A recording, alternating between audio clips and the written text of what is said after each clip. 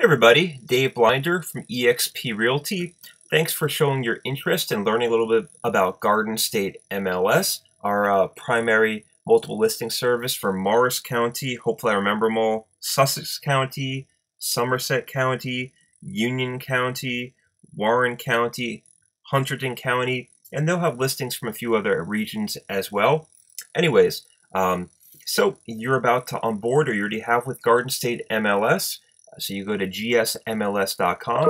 You should be assigned a six-digit Garden State MLS ID number. You should set up a password.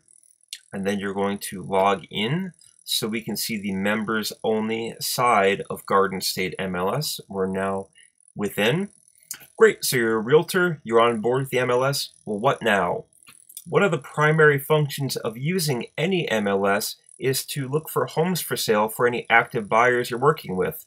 So on Garden State MLS, where I usually start out is on the search drop-down menu over here. And I almost always begin on advanced search. That's a, a good option. And I primarily am using res or residential. Um, our other options here could be multifamily. Not a whole lot of multifamily options in Morris County, a few here and there. Land, uh, mostly undeveloped land. Commercial, business. I don't know that we have a ton of business listings on Garden State uh, rental properties. That could be uh, residential rentals or commercial rentals, and a couple other searches I really don't use, honestly. Anyways, we're going to dive into advanced residential search here and take a look. You should be coming into a blank screen. I'm going to clear out the uh, search criteria I was working with prior. And how we get started here is really begin by going down the fields on the left-hand side and you can begin doing that in order.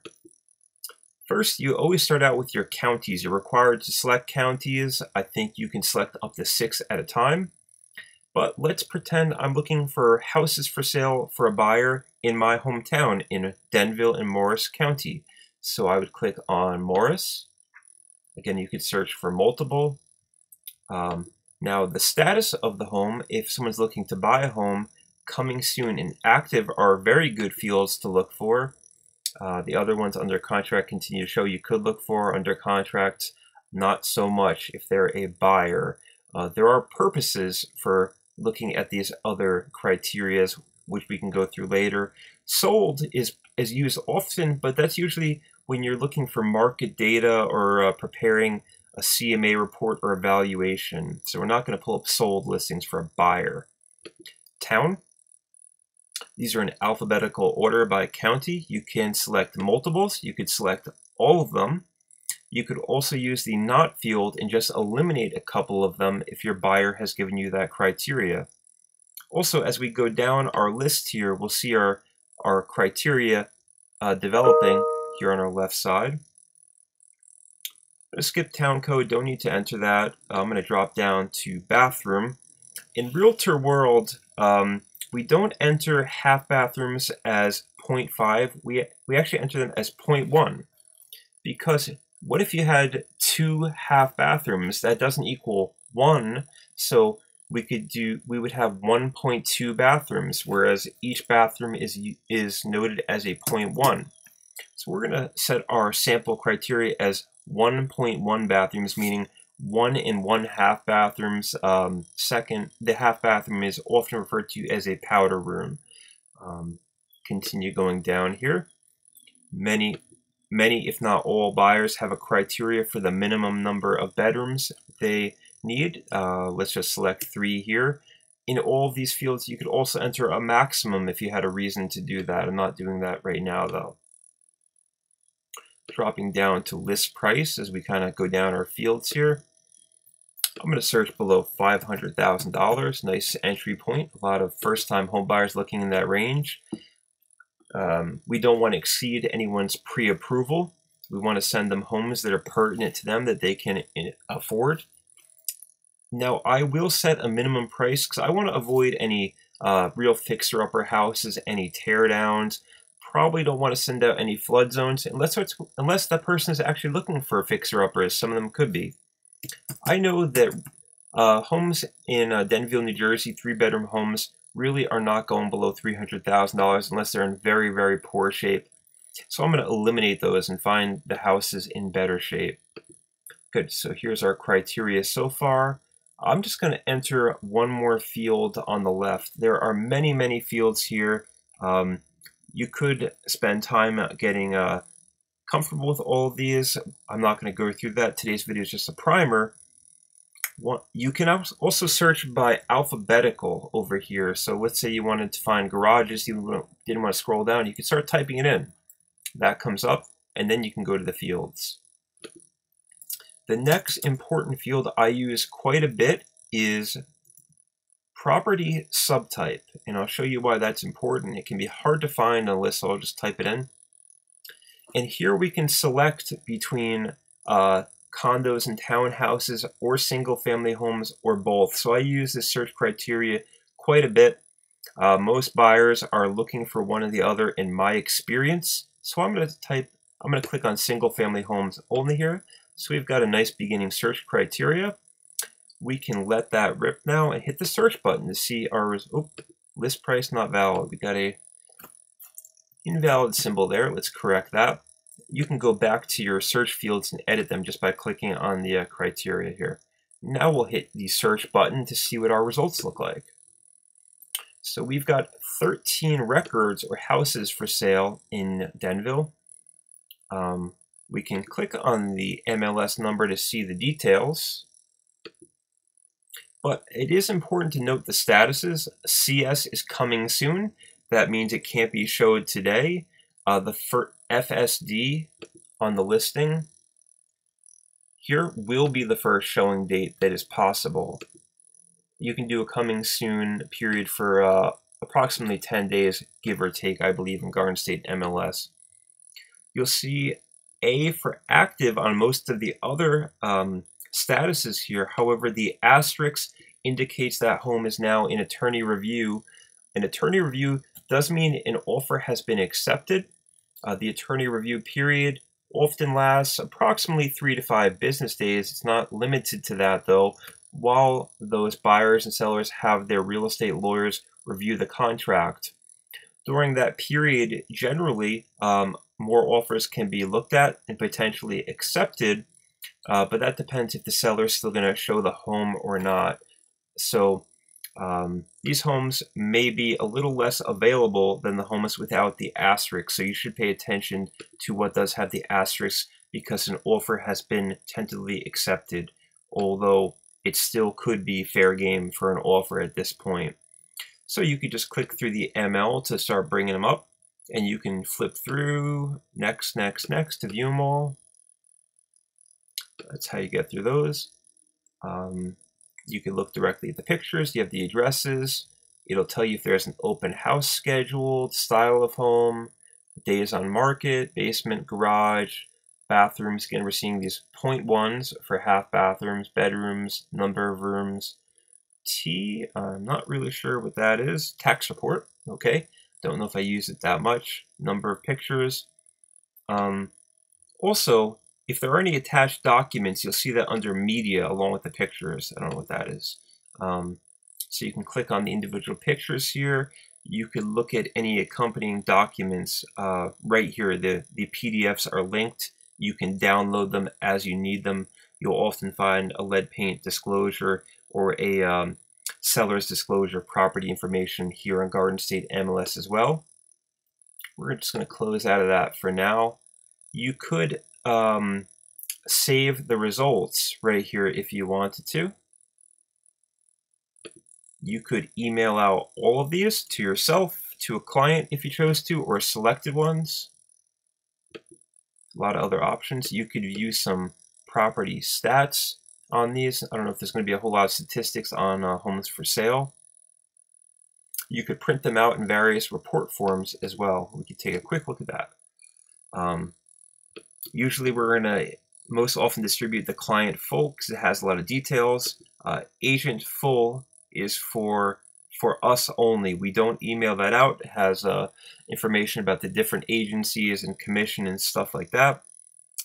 Um, vertical report is a concise uh, report form. We take a quick look at that. I use this uh, at times for providing comps. It's a nice kind of linear format. My print dialog is slowly going to load here. So it just kind of lays out these listings in a linear fashion, um, which can be a good way to present data at times. I'm going to close out of that for now. You could hit an email window here. You can, I would recommend you save your contacts to Garden State MLS. You're not uh, continually um, entering someone's email address manually all the time. You could just save them in here. If I just start typing in my name, I'm already saved. So you can do a read receipt, enter a subject. You can choose what style of uh, reports you want to send right from the email screen as well and just hit send. Um, you could copy yourself too, which is a nice option. We're not going to do that right now. And we'll just do one more type of search. Oh, let me show you one more thing before you do that. We can save the search too. So if this is our buyer's criteria, we know we're going to be running this search a lot. We could um, save the search here, and we can attach it to our contacts as well. Uh, there are. We could also set up recurring automatic emails. We'll save that for a different um, video. Just trying to get through a quick primer today. Some other ones. What if we wanted to look up some market data? So this is what's active what if we want to know what these three bedroom, one one and uh, one half bathrooms are selling for? In that case, we're not going to be looking at the active listings. We really want the sold listings. And let's say we only want to know what the one and one half bathrooms are selling for, three bedroom, single family homes in Denville that were listed between 300 and 500,000. When I'm doing the market data, we call these comps, uh, market uh, comparables. I'll often enter the closing date as well. We want the most recent, most pertinent data. Uh, ideally, you want that in less than six months as the market is ever evolving. Uh, so we're in July now. Let's go for something more recent. Let's look at the, the stats from April 2021 onward. Let's see how many records we get of sold three bedroom, one and one half bathroom homes that were listed below 500,000 in Denville uh, that have closed since April 2021. I'll hit the search. So there are only three houses that have fit that criteria so far. We can see their final sale prices on the right. Minus means it sold below the list price, plus means above. This one sold for exactly list price. That does happen. This is how many days on the market it took to the offers were accepted. We could run some nice stats right from this screen. If we select all, and then we hit the stats button. That'll bring us right into um, our property statistics. We could print these right here. Uh, it'll give us our average if you're uh, getting into your analytical mode here of what these uh, three bedroom, one and one half bathroom homes are selling for percent sale price versus list price, we can see small sample size out of three homes, but on average, they are going for a little over the asking price and days on the market. So hopefully that's helpful to you. Okay, let's see if we can get through any more quick tidbits here. Let's take a look at my profile and see if there's any goodies I can enter here for you. Great, this is what I wanted to show you. Your brokerage should automatically populate as you join MLS. They know what brokerage you're with. Um, your mobile number should be entered there. Make sure that's correct. But I do like to set my uh, oh, Office Direct Fax. Okay, what does it want there? One second. XXX, one, two, three, four. I don't know why it's asking that. Let's put a 1 in front of that. Maybe that's what it wants.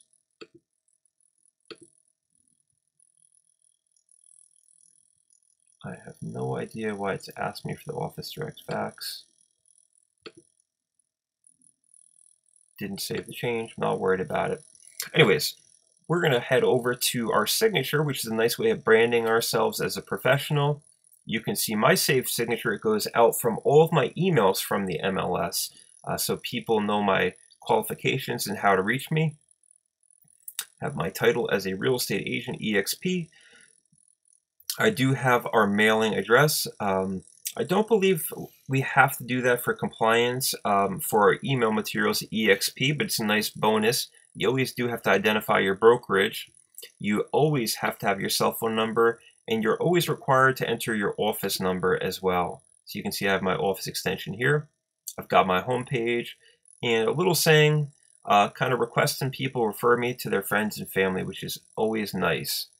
Uh, once that's done, you could you could have multiple email signatures. Uh, and then you can do save, save and continue, start over.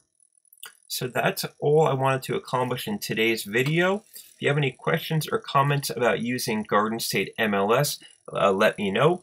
Uh, this is for all of my sponsorees uh, and mentees specifically at uh, eXp Realty, but I look forward to helping others out there. Uh, if you want information on joining eXp as a realtor yourself, please contact me directly. Um, you can find my cell phone number and email address below in the video description. Thanks so much.